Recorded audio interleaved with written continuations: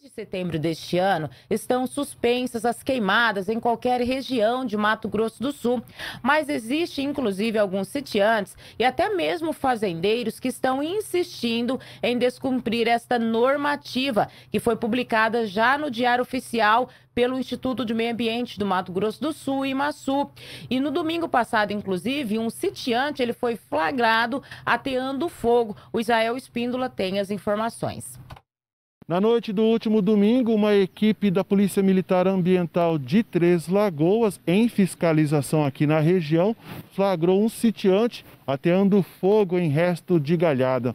O sítio fica localizado às margens da BR-158, no município de Brasilândia.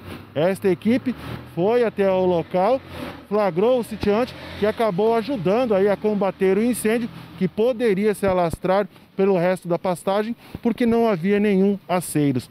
O sitiante de 43 anos foi autuado em mil reais. Vale ressaltar, de acordo com a portaria do IMASU, todo e qualquer tipo de queimadas está suspensa aqui no estado.